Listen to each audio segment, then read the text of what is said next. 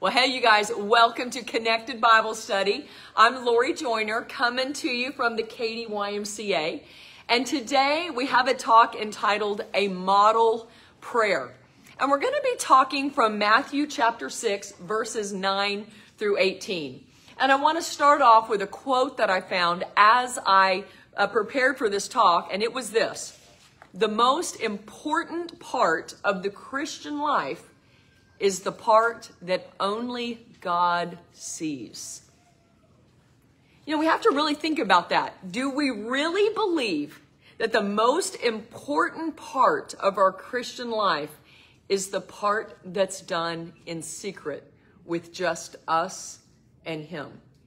Because I think that some people would think it's the opposite. No, it's what I'm doing for God. It's, it's what I'm out in the public doing. It's, it's, it's the mission trips. It's the things I'm doing at church. It's the public things.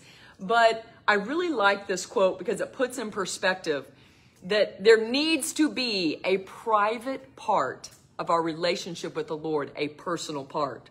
And really, Jesus has been making this clear as he taught repeatedly throughout the Sermon on the Mount so far that if you only do your acts of righteousness, such as giving to the needy or praying, to be seen or heard by others, you will receive a reward.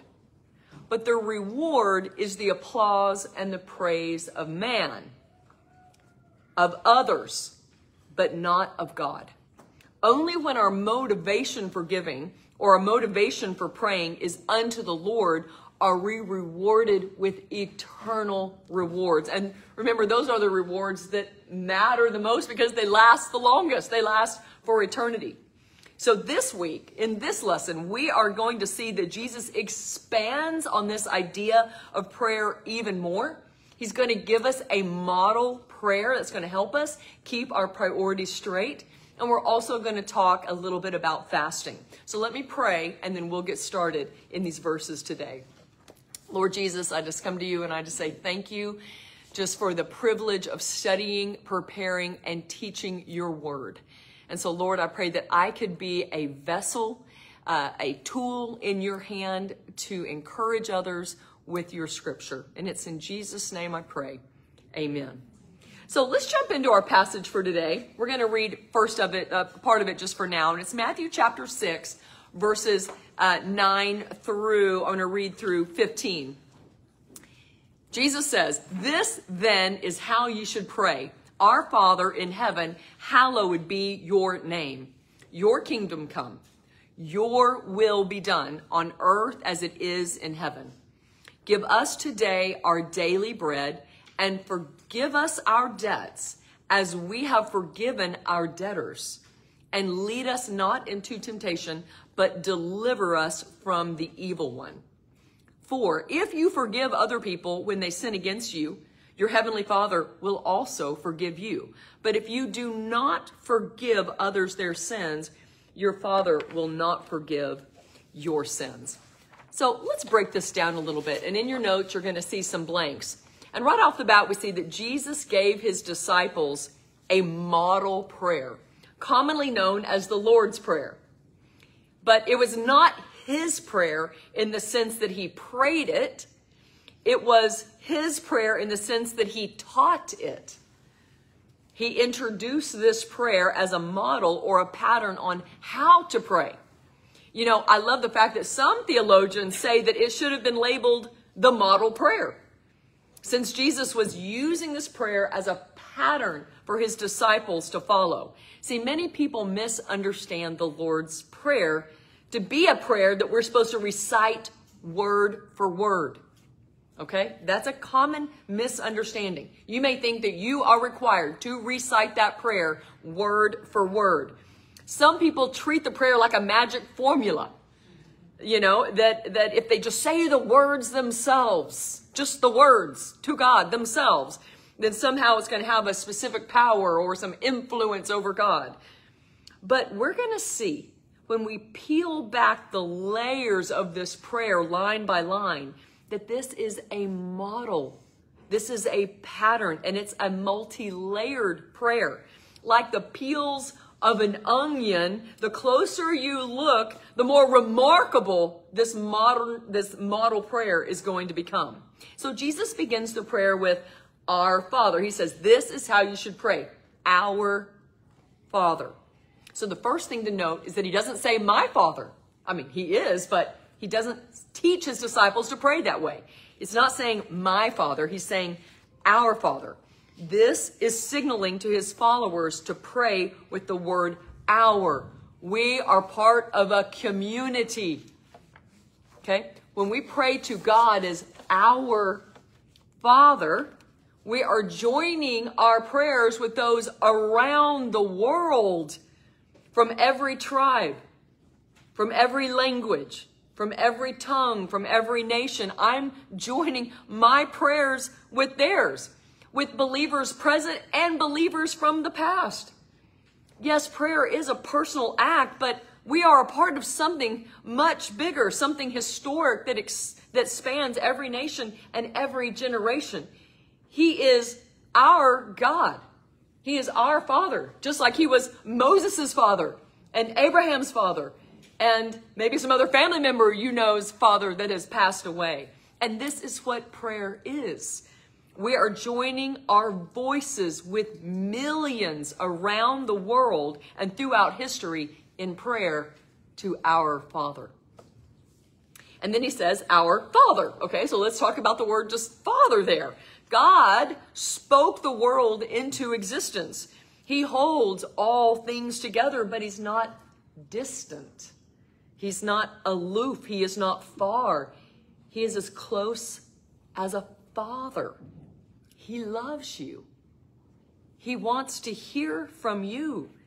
And He is a good, perfect Father. He is, Uh, well, this is the key to understanding Christianity, is that we talk to God as a Father.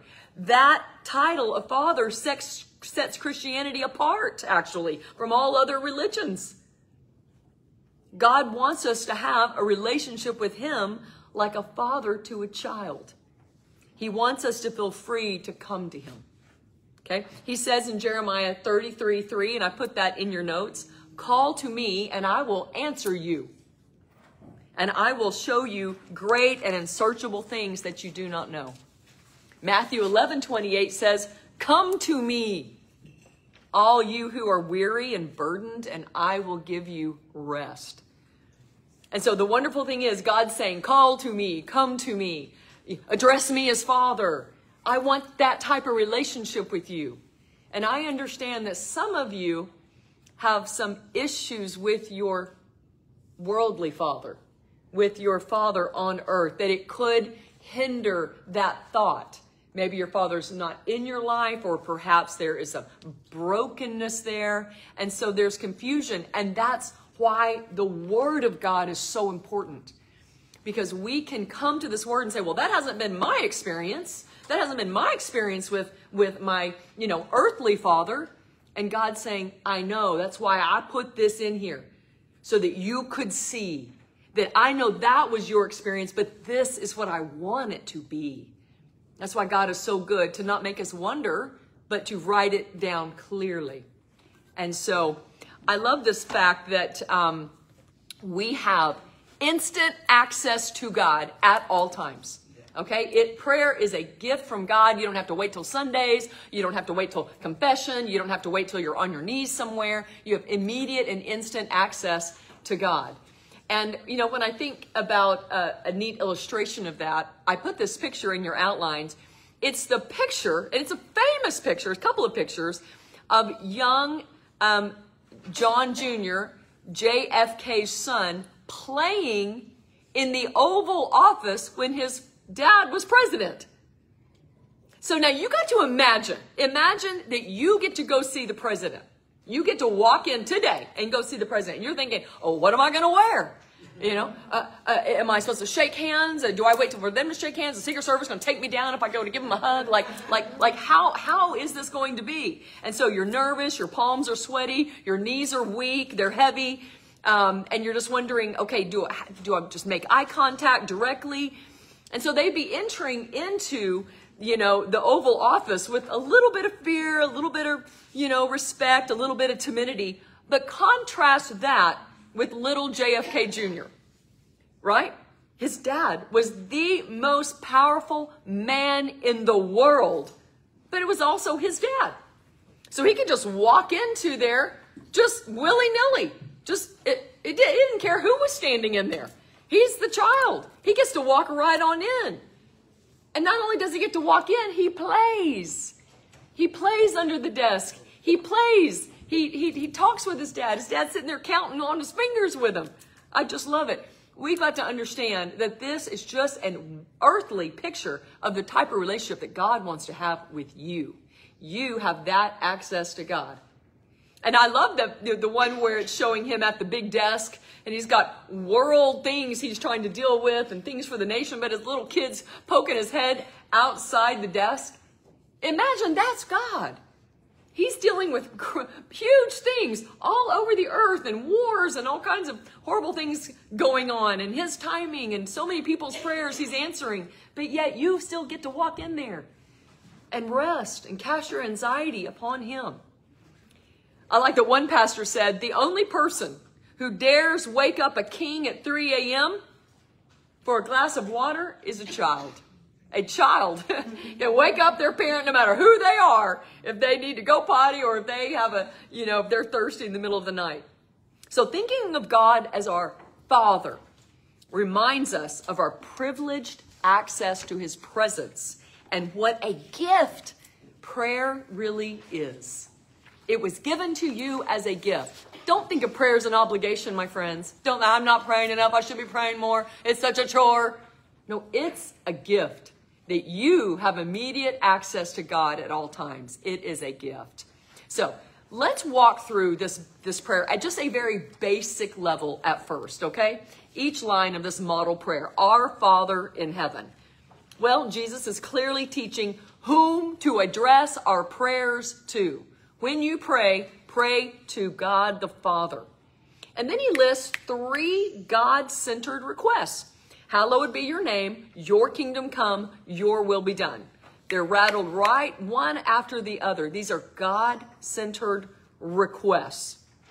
It's telling us to, when it says, Hallowed be your name, to worship God and to praise Him for who He is it's extolling that God's name is holy and we worship him as holy. This is, if we needed another reason, this is why we do not blaspheme the Lord's name. We do not uh, uh, use the Lord's name in vain or in any careless way. We already know that from the Ten Commandments, but here it is again. God's name is holy. It should be treated differently. Okay? The phrase, your kingdom come, your will be done on earth as it is in heaven, it's just a reminder for us, when we start our prayers, to start with God as the center, with His will as the center. Don't, don't jump into what you need and what you want. Jesus is teaching us a model, a pattern that, it, that it's God first. Okay? So we want God's plan and in our lives and in the world to unfold, not our own plan. And we're to pray for God's will to be done, not our own will. So, just moving on briefly here, the remaining four petitions have to do with us. People centered prayer requests daily bread, forgiveness, help in temptation, deliverance from evil. Okay? Now, daily bread was an expression that reflected first century life.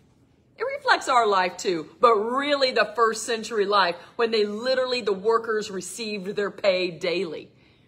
And there's some jobs here that receive their pay daily. I think about my little boy, um, babysits for my sister every week. Uh, he's getting paid cash on the spot every time. You know, there's not some payday that's going to happen at the end of the month. You know, that you're not going to get direct deposited that money when you're a babysitter. And there's other, you know, jobs like that. But it reminds us that we really live only one day at a time, my friends. I mean, you can plan for the future. You can plan a vacation. You can plan to go this, that, and the other. You can plan for tomorrow. But we truly live one day at a time. And each day we should be thankful for any provision that God has sovereignly brought into our lives. Now, make no mistake, that asking God to provide for our needs does not free us from the responsibility to work. Okay? I love that Second Thessalonians 3:10 says, "For even when we were with you, we gave you this rule: the one who is unwilling to work shall not eat." Okay? So when there's people around you that are unwilling to work, the Bible says that they shall not eat. We cannot say, God, supply my needs, but I'm going to sit here and watch, you know, I'm going to binge watch some, some, yeah, some Netflix uh, on TV. Then it goes on to say, forgive us our debts as we've also forgiven our debtors. And this just reminds us at a basic level to confess our sins to God, to turn from them, and to forgive others. We all know that our debt to the Lord is bigger than any debt somebody else owes us. So if we've been forgiven for our sins and saved from hell, we need to be able, in God's strength, to eventually forgive others. And the conclusion of the Lord's Prayer, and lead us not into temptation, but deliver us from evil, is a plea for help in achieving victory over sin and a request for protection from the devil. Okay, so that's just a basic run through of the Lord's Prayer, this model prayer. This is a very face value understanding, but I want to peel the onion with you. I want you to see how truly remarkable this prayer is. So, another way to look at the Lord's Prayer is in relation to time. When we pray for daily bread, we are asking for our present immediate needs to be met. When we ask for forgiveness, we are bringing the past to God for His forgiving grace. Because when you ask forgiveness, you're asking God's forgiveness for something you already did. I mean, don't be asking forgiveness for something you're about to do. That would be a red flag, right? I mean, that would be a big stop. Lord, I'm sorry. Forgive me for my drunkenness tonight or, or my indebtedness tonight. I mean, let's not, let's not be doing that, okay? Typically, when you ask forgiveness for something, it's for something you already did. So you're bringing the past to God. When we ask for help in temptation, we're asking for future help. Oh Lord, keep me from this path. Keep me from this. Lord, help me. Be, be there. Help me say no. Avert my eyes. Close my ears. In a way, we're praying it forward. We're putting, we're putting prayers to, to, the, to the future. So this way of looking at the Lord's Prayer, we are taught by, that we're taught by Jesus is to lay before him all of time. My past, my present, and my future. So when you come to the Lord's Prayer next time, think about it in relationship to time. But my friends, what if I peel the onion again? What if we go even deeper? Another way to look at the Lord's Prayer is to see it through the lens of the Trinity. Remember, the Trinity is the three in one nature of God. God the Father, God the Son, God the Holy Spirit, three in one. Okay, so here's the breakdown. When we ask for bread to sustain our earthly lives, that request immediately brings to our thoughts God the Father. Okay, just, I mean, the moment I think about God the Father supplying my daily bread, I think about the Old Testament. I think about manna on the ground. In the Old Testament, God supplied manna. It was like flakes on the ground that they could scoop up off the ground and create a bread uh, product with it. God gave them manna each day as the Israelites escaped from Egypt and found themselves in the wilderness as they headed on slowly to the promised land. God supplied, God, the Father, supplied their daily need for food. Okay? When we ask for forgiveness, well, that request immediately directs our thoughts to God the Son. Because it's because of Jesus Christ whose death on the cross and blood shed for our lives enables those very sins to be forgiven. We would be dead in our sins was it not for the blood of Christ and our faith in Him that forgives us of our sins. When we ask for help for future temptation, well, that request directs our thoughts to God the Holy Spirit. Because it's the Holy Spirit that fills us and directs us and convicts us. It's, it's God's voice in our mind telling us, don't do that. Don't do that. It's, it's the Holy Spirit recalling to our minds scriptures that we've memorized to help us in our time of temptation.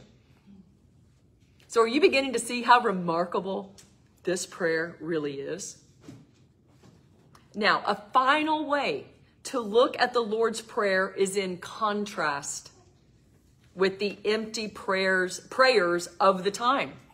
Okay, remember that in Matthew 6, 7, Jesus talked about don't be like the pagans who babble on and on and think that their long list of words will make a difference. Okay, that was my little paraphrase there. So they kept on babbling, repeating words, and they used many words because they thought, well, the more words I use, the more maybe God will do what I want him to do. But we can see in this model prayer, in contrast to that, that there's no needless repetition and it's quite concise in its length, is it not? It's not a long prayer. It's pretty concise. So again, the Lord's Prayer is not a prayer we are to mindlessly just recite back to God. Okay, it shouldn't be a rote routine. It's just an example, it's a model. It showed you the ingredients that can go into, into praying. Now, there's nothing wrong with memorizing it. There's nothing wrong with praying it to God, but, but my point is mean it from your heart. But I gave you an extra handout today. I actually just typed out the Lord's Prayer and I put some of the thoughts that I would probably, and I do, pray in between each line. So you can see on that handout that each line can have multiple bullet points underneath it. I could have added three or four blanks under each, each, of, each line of that. So let's talk just quickly about fasting. Fasting unto the Lord. Matthew 6, 16 and 18, where Jesus says, When you fast, do not look somber as the hypocrites do, for they disfigure their faces to show others their fasting. Truly, I tell you, they receive their reward in full. But when you fast, put oil on your head and wash your face, so that it will not be obvious to others that you are fasting, but only to your Father who is unseen. And your Father who sees what is done in secret will reward you. So we know that fasting just involves going without food for a period of time to engage in a spiritual discipline, a spiritual exercise. And usually it involves more prayer. So we got to understand that at this time, the Pharisees fasted each Monday and Thursday, okay? Um, but they did it in such a way that people knew they were fasting. Their purpose was, of course, to win the praise of men. But as a result, they lost God's blessing. Um, as with giving and praying, true fasting must be done in secret. Okay? It is between the believer and God. To make ourselves look glum and tired and weak or seeking pity for fasting would destroy, would destroy the basic purpose of that spiritual discipline, of fasting itself. So I want to tell you a little story to close. When I was about 26, fasting was a big deal. So about, about 25 years ago, Fasting was a huge deal in Christendom. Two significant books had come out. I put these on your outline. One was called, um, uh, oh, what, what is it? It's on your outline. Yeah, The Coming Revival, um, seeking God, uh, praying and fasting and seeking God's face. That was written by the director, the founder, and the president of Campus Crusade for Christ at the time, a man named Bill Bright. And I was on staff of that organization.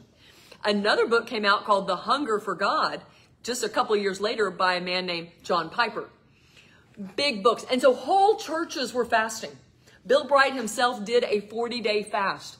Other people were doing 40 day fast and their hearts were in the right place. They were, they were telling people, let's get serious. Let's seek the Lord, even it means not eating. We need, you know, help for our country and help for, you know, Christians and help for churches. I mean, their hearts were in the right place. So here I was. I was a new missionary on staff with Cru. I had ingested both books and I decided, well, I guess I'm, I'm going to do a 40 day fast. And my church was doing a big 40 day fast. And they were saying to people, here's the dates and we want you to sign up to do a big 40 day fast, okay? Now, at that point in my life, I'd never fasted more than a couple of days, and even that was like totally difficult. So I was like, but you know what? God's with me. I'm, I'm, I'm just going to do it. And so I looked at my calendar, I put the dates down, and I began to tell people, you know, I'm going to do, I'm to do this 40 day fast. I'm, I'm going to do it with the church. Are you doing it? Are you doing it? It was, a, it was a conversation. It was a thing. Okay. So one time, and, and, and, you know, it was the time I was leading up to this fast, I was at the YMCA in Waco, Texas, and I was on a treadmill. I don't get on a treadmill now unless I got a gun to my head, okay? I, I cannot do that. But I was walking on a treadmill, maybe I was running, who knows what I was doing. It's so boring, I can't even stand it now. But, um, I was, you know, excited about my fast, and I had told my friends about my fast, and my church is going to do this fast. And God said to my heart, what if I don't want you to fast? Well, why, why not? I mean, it's a good thing. And I begin to have a conversation with God in my brain. I can tell you, I, I can see the TVs, I see the treadmills, I can see the room. And I was arguing with the Lord, but I, you know, what, what do you mean? Why, why wouldn't I? I mean, this is a good thing. And you know what I said to the Lord? I've already told everybody I'm going to do it. do you know that I was going to do a 40 day fast and I had not even prayed to God about it? I mean, I was going to skip right over God and I was just going to do it. And I decided not to, obviously, because my heart, other people's heart was in the right place. My heart was not. And part of it was just, I don't think I even understood. I wasn't trying to be a Pharisee. I wasn't trying to gain the applause of man. But in a way, that's what was happening because it really would have just been about doing this thing with my church and not really about the Lord. And so my, my point here is, is that we need to make sure, just like that quote says on your, on your outline, that there needs to be something uh, well, it says the most important part of the Christian life is the part that only God sees. We need to make sure that when we're praying and fasting and giving or any other thing you're doing, it's okay if other people notice, but our heart's got to be in the right place. We need to make sure that we don't do good works or things for God without God Himself. We can fool a crowd of human spectators in the public arena but God knows the truth of our heart. Let me pray.